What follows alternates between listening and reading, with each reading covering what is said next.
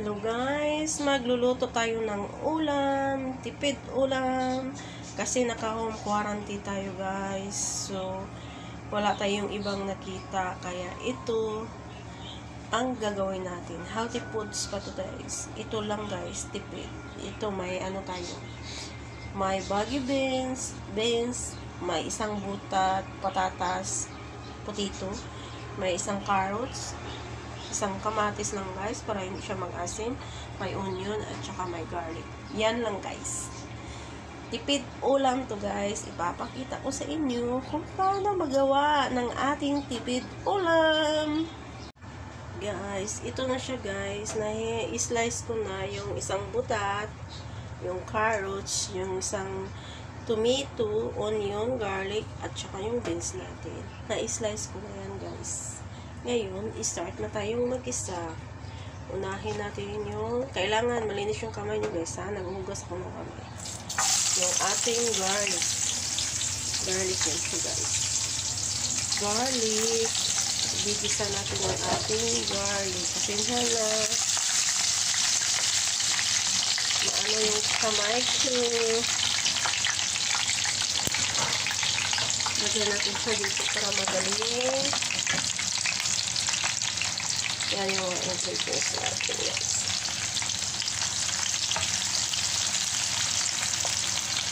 Inanak ko yung garlic guys kasi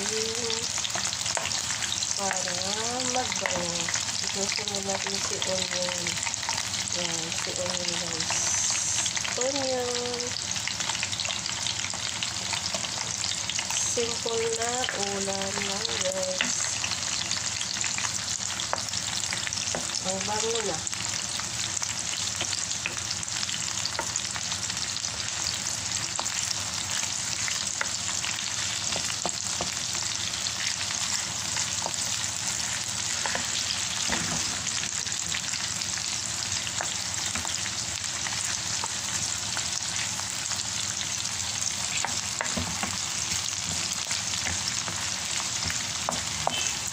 Sobrang mabango na siya, guys.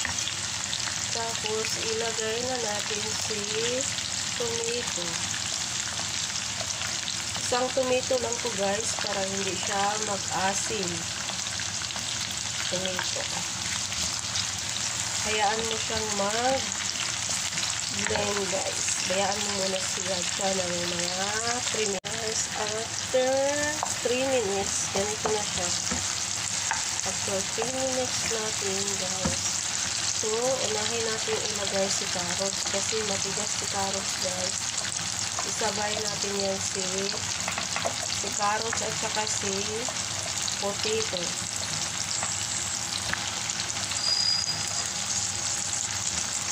Yan si carrots. Kasi matigas ko guys.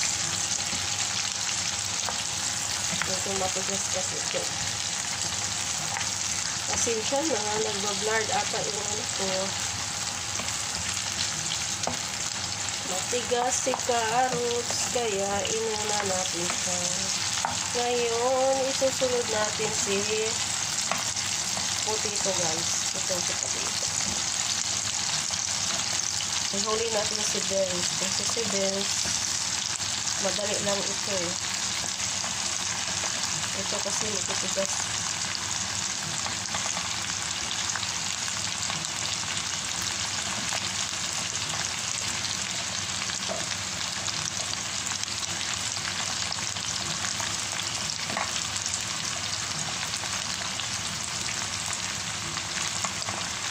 Ayan.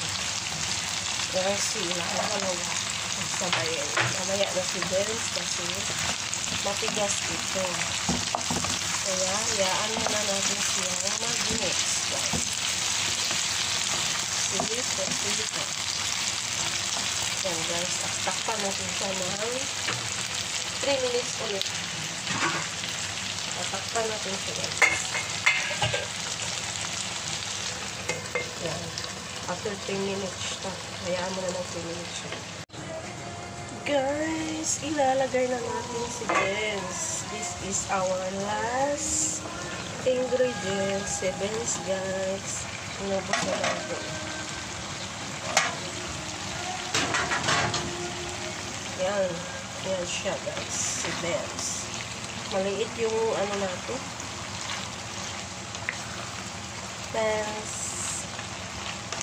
Yan guys.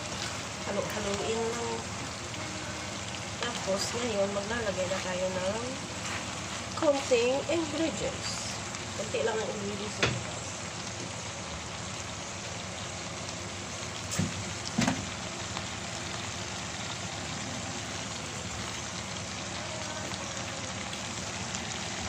Ang ilalagay natin ito guys, konting soy sauce. Soy sauce guys. Oh. Soy, soy sauce. Konti lang din. Konting-konti lang. Tsaka black pepper ulit. Mahilig pala ako sa black pepper. This is a black, black pepper powder. Tapos, konting salt. Ganyan lang kasimple guys. Tapos, haluin mo siya ng haluin. Haluin mo siya ng haluin. Para mag-scatter yung kanyang ano. Lang simple guys. Tapos, lagyan mo siya ng konting tubig para kunting tubig guys para maluluto talaga yung ano, potato at saka yung beans kasi medyo matigas ito guys. Lagyan natin siya ng konting tubig para mag lut kunti lang. Maluto yung kanyang ano. Kasi matigas ang beans at saka yung potato takpan natin siya ulit ng 3 minutes. 3 minutes ulit guys. Guys, this is it. Yummy. Wala siyang ibang ingredients, guys. Yum lang. Yum lang siya, guys. Tipid ulam. Yan, luto na siya, guys. Yummy, yummy. Yummy, guys. Yan na. Tipid-tipid ulam. Guys dahil luto na siya, atin na siyang ilalagay sa plating. Luto na siya guys. Hanggang may pang-ulam na tayo. Ilalagay na natin siya dito sa ating may takip. Ganyan lang. Cowboy style.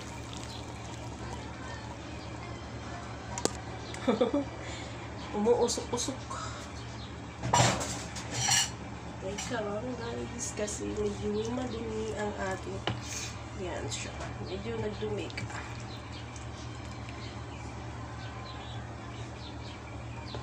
Well, kasi saya. Yan na siya guys, ang ating finish na na wait lang guys.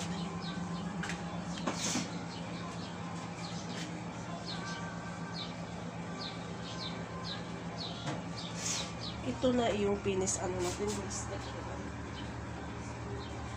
Para maganda siyang tignan, lagyan natin siya ng topping.